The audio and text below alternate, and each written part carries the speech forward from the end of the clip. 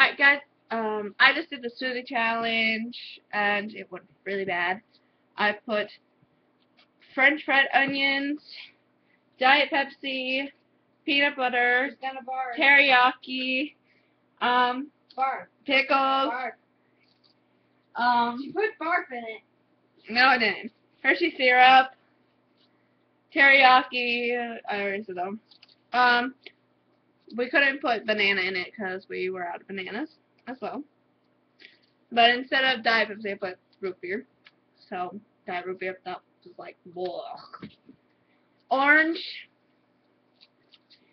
And apple, and last but not least, sugar. That made it better too. Um, but yeah, the apple you could taste in it because it was still clumpy. I'm like, why isn't it working? But yeah, it looked like chocolate milk. It was not good. It was gross.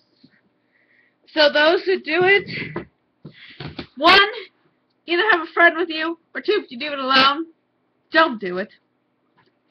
Really bad. If you have a friend with you, then that works, because then you can both gag together.